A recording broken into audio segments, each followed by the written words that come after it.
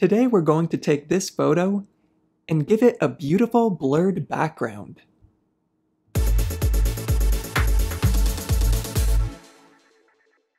Hello and welcome to an Affinity Revolution tutorial. My name is Ezra Anderson, and today we're going to create a beautiful blurred background in Affinity Photo. If you'd like to follow along with the same image I'll be using, I've included a link down in the video description.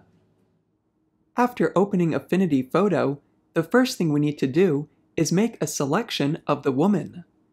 To do this, we'll use the Selection Brush tool. Using this tool, just paint a selection across the woman. If you've selected too much, you can hold down Alt or Option and then Paint to remove from your selection.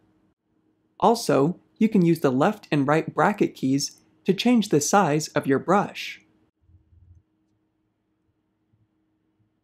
Now that we have a rough selection, it's time to refine it. To refine our selection, we'll press Refine up at the top.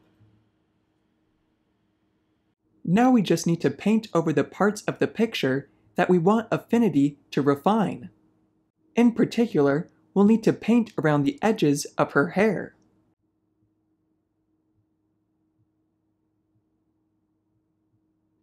We can also change our mode to foreground to add to our selection.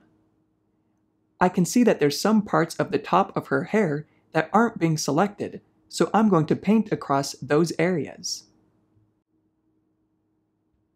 Then I'll turn my mode back to matte and have Affinity refine that part of the photo once again. Now that we have a good selection of the woman, I'm going to press Apply. The woman is the one part of the picture that we don't want to be blurred. Because we want to blur everything except the woman, we need to invert our selection. To invert your selection, press Command or Control, Shift, I. Now with the background selected, we can apply a Gaussian blur filter. Press on the filter's icon and then select Gaussian Blur Filter.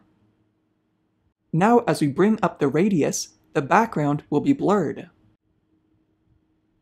You'll also notice that this is giving our picture opaque edges. To fix this, check on Preserve Alpha. Then we can exit out of this dialog box and press Command or Control D to deselect. With this filter applied, we have successfully blurred the background. Next, we're going to work on improving the lighting in this picture.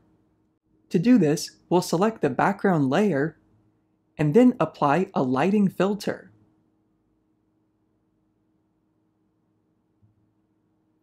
I'm going to zoom out a little ways by pressing Command or Control minus. Then, using this handle, I'm going to click and drag to move the light source. Then I'll use this handle to reposition it. Our picture is too dark now, but we can fix that by increasing the ambient light. We can also make the picture warmer by changing the ambient light color to a light orange. I'd say this is looking pretty good, so I'm going to exit out of this dialog box. Then I'll press Command or Control 0 to zoom back into my picture. To make the lighting in this picture even softer, I'm going to select this group, and then press Command or Control J to duplicate it. Then I'll change this top layer's blend mode to soft light. This has now added a beautiful soft light effect to our picture, but it might be a little too strong.